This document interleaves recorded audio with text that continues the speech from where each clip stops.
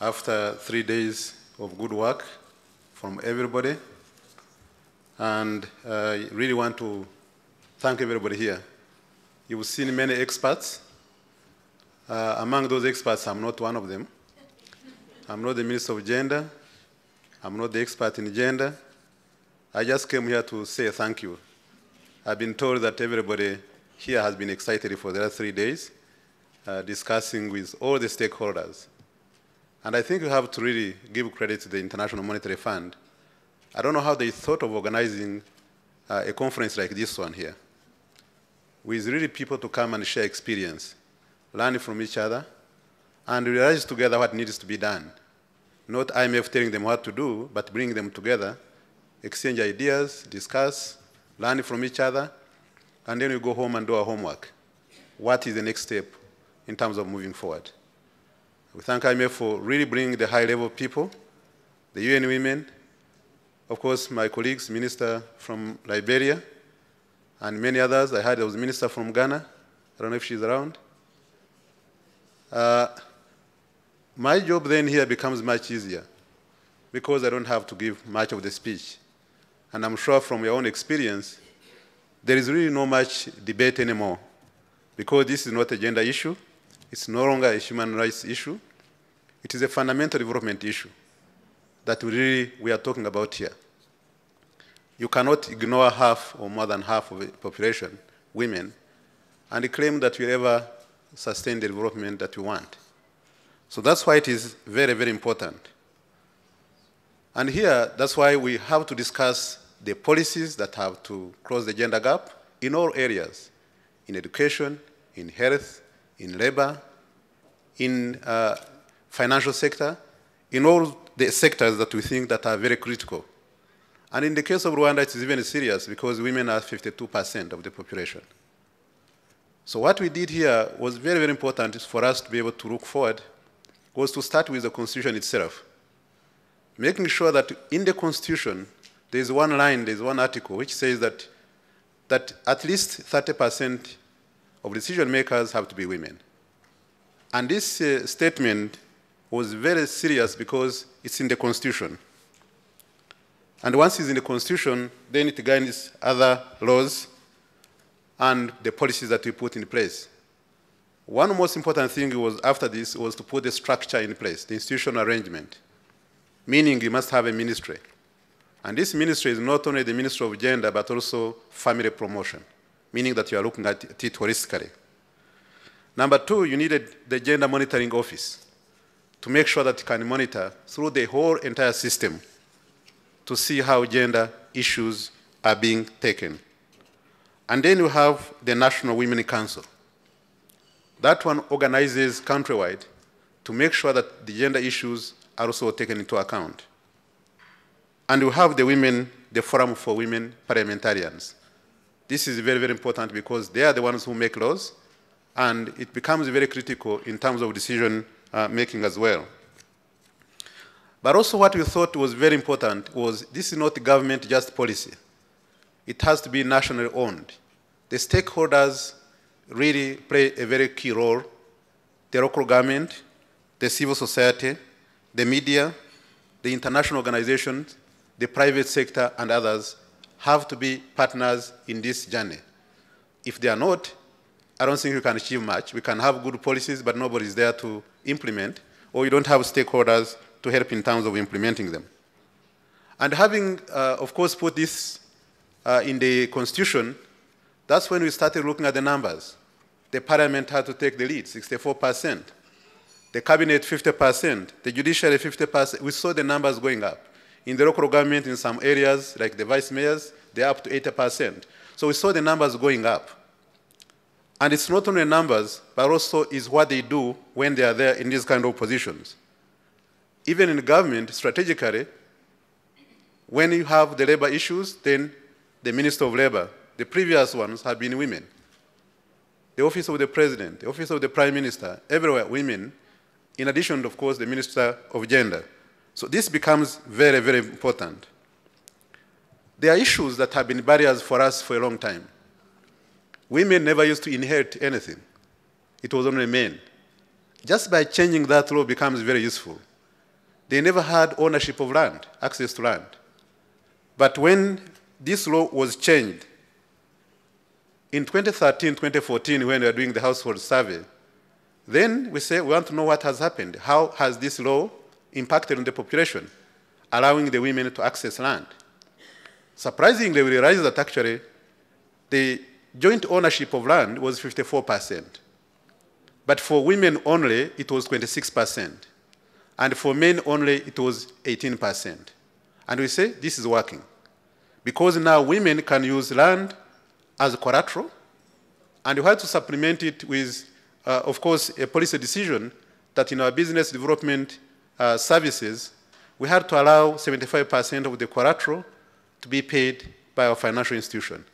Meaning women who are disadvantaged previously, this time they can access a loan much easier because they have land. They also have 75% guarantee that is provided by the government. But at the same time, it helped in terms of exclusion. From the statistics, we realized that, the uh, women who are financially excluded, at least by in 2012, they were 32%.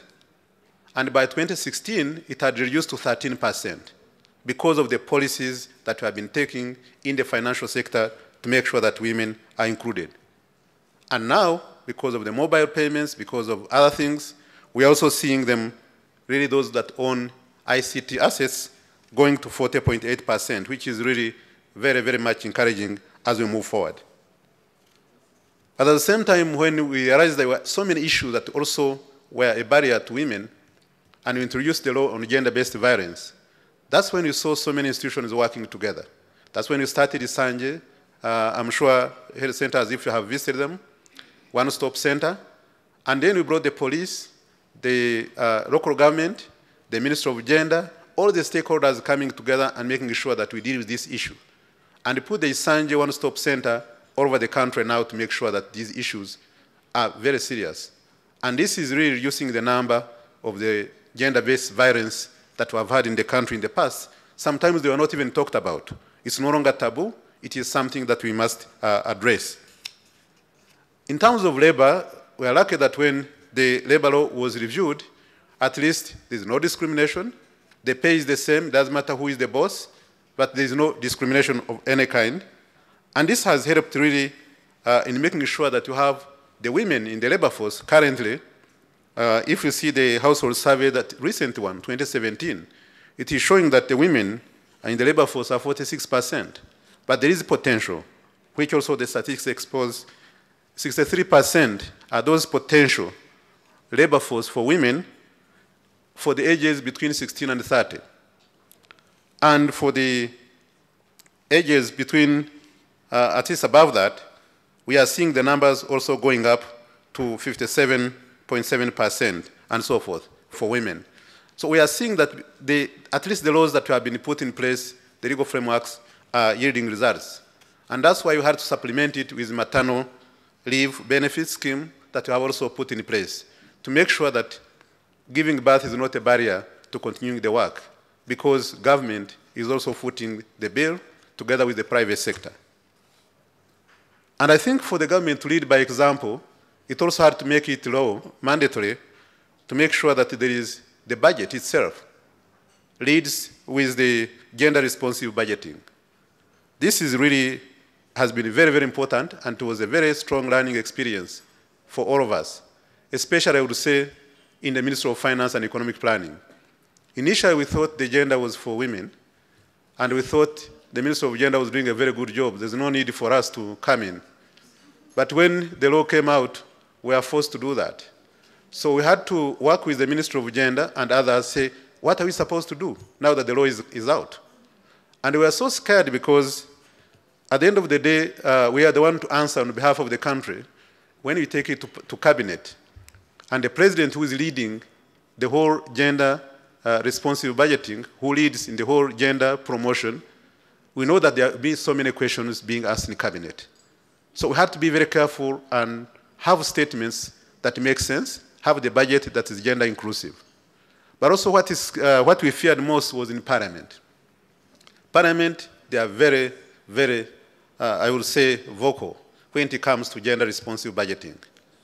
And then we imagine when the parliament is led by a woman, the deputy, woman, the deputy speaker is a woman, and the head of the budget committee is a woman, the head of the economic committee is a woman, the head of social committee is a woman, and she's a parliament of 64%. And then you say, how do I present this if I don't get it right?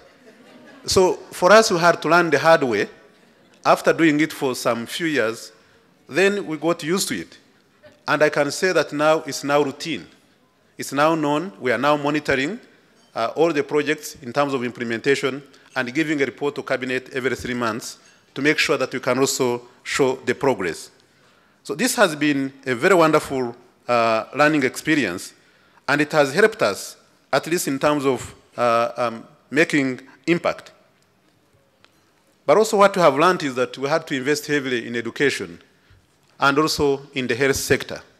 And this kind of investment is narrowing the gap.